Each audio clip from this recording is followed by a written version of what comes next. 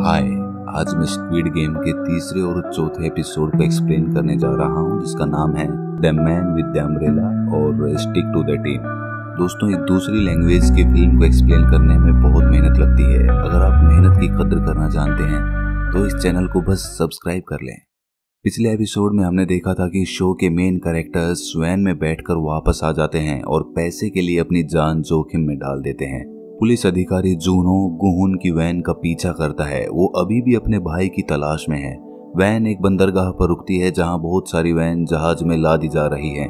Juno गीहुन की van के नीचे चिपक कर जहाज़ पर चढ़ जाता है। इसके बाद लाल सूट में गार्ड्स कानों को स्कैन करके खिलाड़ियों का निरीक्षण करने के बाद उनमें एक डिवाइस इंसर्ट कर देते हैं। जूनो एक वैन के अंदर जाकर उस गार्ड को मार देता है, जो उसका निरीक्षण करने की कोशिश कर रहा होता है। वो उसके कपड़े और मास्क खुद पहन लेता है। फिर वो अपनी आईडी उस आदमी की जेब में डालकर उसे समुद्र में फेंक देता है। एक गार्ड जूनो को दूसरा गार्ड समझकर पूछता है कि वो वहाँ पर क्या कर रहा है। वो आदमी जूनो से सुपीरियर है, जिससे उसे पता चलता है कि उनके मुखोटों पर शेप्स जो हैं, वो उनकी पोजीशन को दर्शाती हैं। जूनो ये कहकर बच जाता है कि वो समुद्र की वजह से बीमार चल रहा है। जहाज़ आइलैंड पर रुकता है और सभी प्रतियोगियों को एक हॉल में ले जाया जाता है। जबकि वे अभी भी बेहोश होते हैं। इसके बाद उनके कपड़े बदल दिए जाते हैं और उनका सामान जब्त कर लिया जाता है। साबियोक, जो थोड़ी होश में है, एक चाकू अपनी जेब में छुपा लेती है। खिलाड़ी इसके बाद हॉल में जागते हैं। गिहुन यहाँ इल्नाम से मिलता है। सांगू और अली भी वहाँ आ जाते हैं। वो एक टीम बनाने का फैसला करते हैं, जिससे अगले गेम्स जीतने में आसानी हो।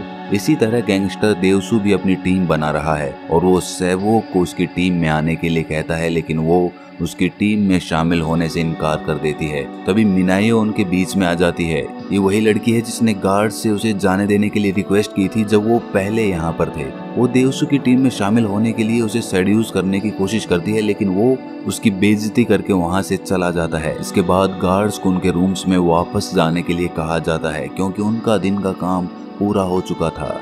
जूनो जो अभी तक पकड़ा नहीं गया, वो एक रूम में जाता है और देखता है कि वहाँ पर एक सर्विलेंस कैमरा है। रात में मीनियो टॉयलेट करने के लिए बखेड़ा खड़ा कर देती है और गार्ड को बोलती है कि, अबे, कहाँ मर गए सब के सब? गेट खोलो, नहीं तो मैं यहीं पर सूसू कर दूँगी। वो उसे जाने देता है, तभी सेबियो भी बाहर चली जाती है। यहाँ पर मीनियो ने अपने अंडरवियर के अंदर सिगरेट का पैकेट छुपाया हुआ है, जो वो वहाँ पी रही होती है कि तभी सेबियो मीनियो के टॉयलेट में जाकर अपने चाकू से छत पर लगे वेंट को खोलती है। वहाँ से वो किचन के वेंट के ऊपर पहुँचती है, जहाँ चीनी पिघल रही होती है। इससे पहले कि गार्ड उसे पकड़ पाते, सेबियो जल्दी से वापस लौट आती है। वो मीनियो को बताती है कि उसने क्या देखा, लेकिन उन्होंने सोचा कि ये जानकारी उनके किसी काम की नहीं है। इसी बीच जूनो अभी भी अपने कमरे में है, जहाँ से वो कैमरे से छिपकर अपने सीनियर्स को मैसेज भेजता है। अगले दिन खिलाड़ियों को जगाया जाता है और नाश्ते में ब्रेड और दूध दिया जाता है। बात करते हुए गेहूँ और टीम एक दूसरे से बॉन्ड बनाने लगते हैं। इल्लाम और गेहून एक दूसरे से अपने पुराने दिनों के बारे में बात करते हैं। अली उन सभी के प्रति काइंड है, जबकि सांगू भावनाओं से रहित लगता है। जब वो बात कर रहे होते हैं, तभी एक अनाउंसमेंट होती है कि अगले गेम का वक्त हो गया है। बाहर जाते समय सांगू ने सहयोग से पूछा कि उसने कल क्या देखा था, क्योंकि उसने कल रात उसे और मीनियो को बात करते हुए सुन लिया था। सहयोग उसे बताती है कि गार्ड्स चीनी पिघला रहे थे। जब वे बाहर पहुँचते हैं तो सांगू दीवार पर खींची गई कई आकृतियों को देखता है और उसे लगता है कि वे एक पुराना कोरियाई खेल खेलने जा रहे हैं जहाँ उन्हें सुगर हनीकोम स्नैक को एक पर्टिकुलर शेप में तोड़ना होता है। हालाँकि वो अपने साथियों को इसके बारे में नहीं बताता और अपने लिए सबसे आसान शेप चुनता है। गेहूँ एक छतरी का आकार चुनता है जो सबसे कठिन होता है, लेकिन सांगू अभी भी उसे नहीं बताता। उन्हें हनी कोम दिया जाता है और अब गेहूँ को पता चलता है कि उसने बहुत बड़ी गलती कर दी। ऐसा कोई तरीका नहीं है जिससे वो छतरी के आकार को सेट टाइम में तोड़ सके। सांगू और सहबो को एक ट्रायंगल मिलता है। अली को एक सर्कल मिलता है, जबकि इल्नाम, देवकसु और मिनियो को एक स्टार मिलता है। खेल शुरू होता है और सांगू और सहबियोक आसानी से अपना आकार तोड़ लेते हैं। अली भी इसे जल्दी पूरा कर लेता है। दूसरी ओर मीनियो एक स्लाइड के नीचे छिपकर चीनी को आसानी से पिघलाने के लिए लाइटर का यूज़ करती है। गेहूँ और इल्नाम सबसे ज़्यादा स्ट्रगल कर रहे होते हैं। जल्द ही गार्ड्स अपने आकार को बिगाड़ने वालों को मारना शुरू कर देते हैं। सांगू, सैबियोक और अली जल्द ही टास्क पूरा कर लेते हैं। कोई भी मीनियो को नहीं पकड़ पाता और वो भी अपना टास्क पूरा कर लेती है। इसके बाद वो देवसू की मदद करने के लिए लाइटर उसकी तरफ़ फेंक देती है। हालाँकि उसने इससे पहले उसकी बेजती की थी, लेकिन वो भविष्य में उनकी टीम में रहना चाहती है। तभी गेहूँ को पता चलता है कि अगर वो हनीकोम को चाटता है तो वो पतला हो जाएगा, जिससे उसे आकार में तोड़ना आसान हो जाएगा। उसके आसपास के लोग उसकी रणनीति को फॉलो करते हैं, जिसमें इल्लाम भी शामिल होता है, और आखिर में वो छाते की आकृति को बाहर निकालने में कामयाब हो जाता है। इल्लाम भी यही करता है, और वो भी सफल हो जाता है। हालाँकि जो असफल होते हैं, उन्हें बेरहमी से मार दिया जाता है। इन सब का बोस मॉनिटर के ज़रिए सभी को देख रहा होता है। जूनो भी मैदान में है और खेल का असली सच देखकर डर जाता है। तभी एक सीनियर उसे लाशों को उठाने और बाद में मिलने के लिए कहता है।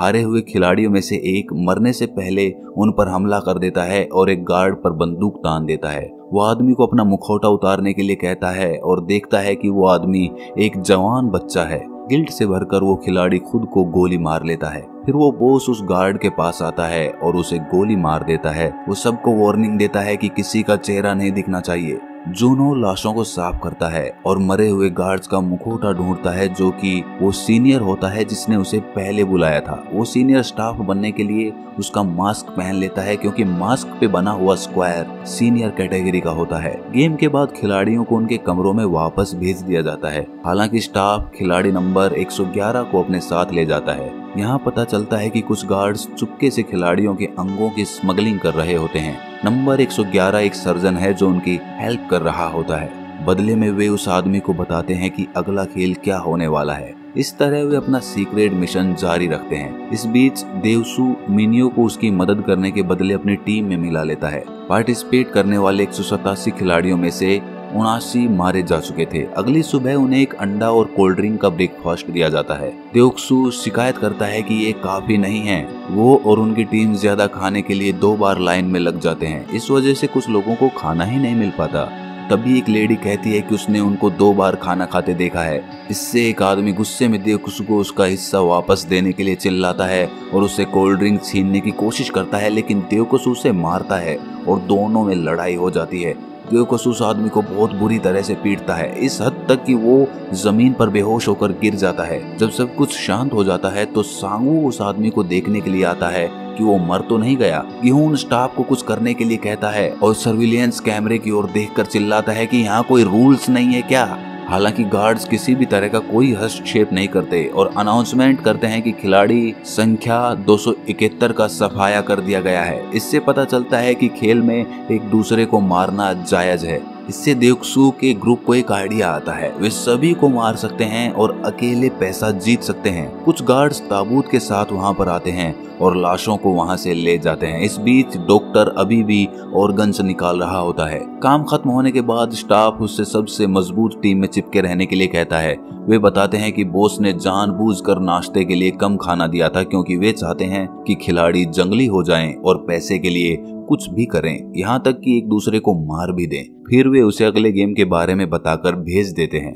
हॉल में वापस, हर कोई अपनी ज़िंदगी के लिए डरा हुआ है। गिहुन और टीम सुरक्षित रहने के लिए पूरी रात जागते रहने का फैसला करते हैं। सहयोग को अकेला देख कर गेहून उसे अपने ग्रुप में इनवाइट करता है, लेकिन वो उन पर भरोसा नहीं करती है। जब डॉक्टर हॉल में लौटता है तो वो सबसे मज़बूत टीम की तलाश करता है। टाप की एडवाइस से वो देवक्सू की टीम के पास जाता है और उसे टीम में शामिल करने के लिए कहता है। देवक्सू पहले तो उसका मज़ाक उड़ाता है, लेकिन जब चुपके से वो उसे बताता है कि अगले दिन कौन सा खेल खेला जाने वाला है तो वो उसे शामिल कर लेता है। स्पेशल गेम के लिए स्टाफ को हाई अलर्ट पर रखा गया है। लाइट बंद होने के बाद देवसु की टीम उठ जाती है और लोगों पर हमला करने लगती है। देवसु पहली हत्या करता है और चीखें सभी को जगा देती है। बोस कैमरे के नाइट विजन के माध्यम से सभी को देख रहा होता है। वो एक गार्ड को कमरे में लाइट टिमटिमाने का ऑर्डर देता है ताकि हत्याएँ स्पष्ट दिखाई दें। जल्द ही वो जगह खून खराबे में बदल जाती है। देवकसु सैबियो पर हमला करता है और उसे मौत के घाट उतारने वाला ही होता है कि तभी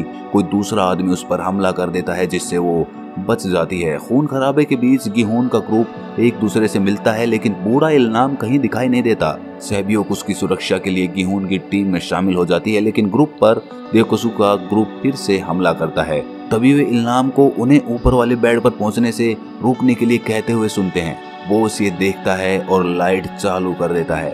गार्ड्स खून और लाशों से लथपथ जगह पर आते हैं। और लाशों को स्कैन करने के बाद अनाउंसमेंट होती है कि उनमें से 27 को हटा दिया गया है। लाशों को निकालकर भट्टियों में जला दिया जाता है। सब कुछ शांत होने के बाद गिहून और ग्रुप इकट्ठा होकर एक दूसरे से अपना इंट्रोडक्शन देते हैं, क्योंकि वे अब तक एक दूसरे को नंबरों से ही बुलाते रहे हैं। लगता है कि इल्नाम इस घटना से हिल गया है और अपना नाम भी भूल गया है। गिहून ने उसे आश्वासन दिया कि आराम करने के बाद वो ठीक हो जाएगा। इस बीच डॉक्टर देवकुसु की चोटों पर ड्रेसिंग कर रहा होता है। ग्रुप इतने सारे लोगों को मारकर बहुत खुश है और और अधिक लोगों को मारने का फैसला करता है जब तक कि वे अकेले नहीं बच जाते। मिनियो देखती है कि देवकसु उससे ज़्यादा डॉक्टर का पक्ष ले रहा है। उसके करीब होने के लिए वो उसे बहला फुसलाकर वॉशरूम में इन्वाइट करती है, जहाँ दोनों एक बाथरूम में सेक्स करते हैं। अगली सुबह सबके जागने के बाद तीसरा गेम पल भर में स्टार्ट होने की अनाउंसमेंट होती है। थोड़ी देर बाद उन्हें एक खाली सफ़ेद कमरे में ले जाया जाता है, जहाँ उन्हें 10-10 लोगों के ग्रुप में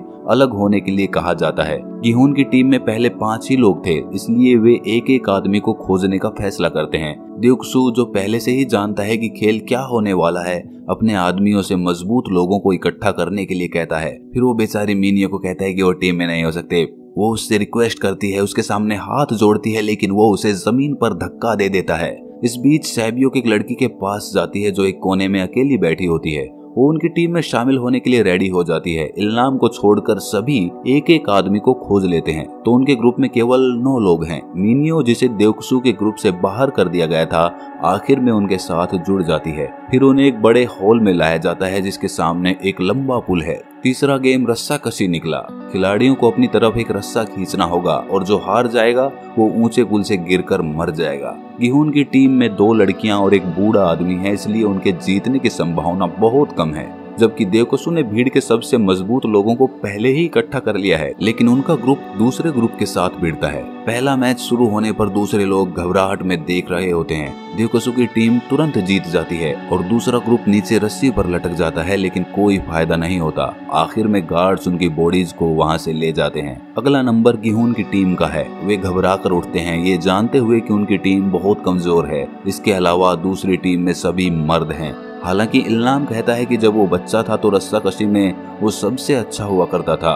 वो उन्हें खेल की कुछ बुनियादी तकनीकों के बारे में बताता है। सबसे पहले आगे वाले को एक मज़बूत आदमी होना चाहिए जिससे वो अपने सर को साइडों में घुमाकर दूसरों के साथ बात कर सके और आखिरी आदमी को सबसे मज़बूत होना चाहिए। दूसरा, रस्सी के दोनों तरफ़ एक खिलाड़ी होना चाहिए ताकि पुल मज़बूत बन सके। तीसरा, सभी के पैर आगे की तरफ़ होने चाहिए और उन्हें अपनी कांख से भी रस्सी को पकड़ना होगा। आखिरी और सबसे महत्वपूर्ण बात यह है कि खेल शुरू होने के बाद टीम को पहले 10 सेकंड के लिए ज़मीन पर अपने पाँव जमा कर रखने चाहिए। इस तरह आप अपने विरोधी को आश्चर्यचकित कर सकते हो, जिससे उनकी लय टूटने लगती है। इन टेक्निक्स का यूज़ करके ग्रुप लगभग जीतने वाला होता है, लेकिन विरोधी टीम अंतिम क्षण में रस्सी को ज़ोर से खींचती है। जब वे लगभग किनारे पर होते हैं, तब सांगू जल्दी से एक नया प्लान बताता है। वो सभी को कुछ सेकंड के लिए अपनी पकड़ ढीली करने के लिए कहता है, ताकि विरोधी अपना संतुलन खो दें एपिसोड यहाँ पर खत्म हो जाता है, जब वे तीन की गिनती पर रस्सी को छोड़ देते हैं। इसी तरह की और एक्सप्लेनेशन सुनने के लिए इस चैनल को सब्सक्राइब ज़रूर कर लें और नोटिफिकेशन बेल को ऑन कर दें।